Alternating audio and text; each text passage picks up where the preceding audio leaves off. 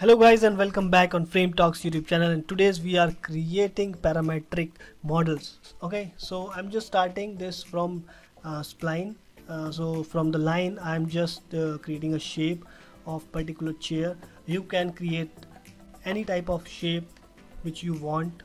And one more thing guys uh, thank you so much guys for responding my last video and also the morning walk scene which I created on a Lumion. So this uh, particular video is uh, really uh, getting a good response from you guys. Thank you so much. And keep supporting guys. If you don't subscribe yet so please subscribe uh, frame talks youtube channel so guys you can create a shape according to your creativity or according to your idea according to your concept whatever it is okay? And uh, if you are creating any object or model from this technique so please share with us and i'll post on my instagram or facebook account uh, with your handle maybe it's uh, instagram and whatever it is. So just share uh, on facebook or instagram so we'll post. Guys please watch complete video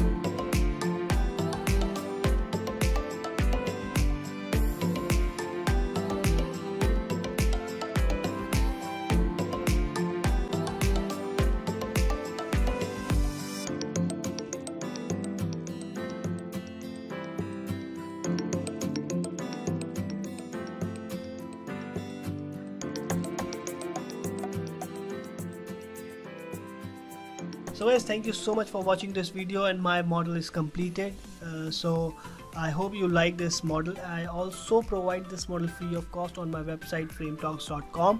Mostly I share my tutorial files on my website.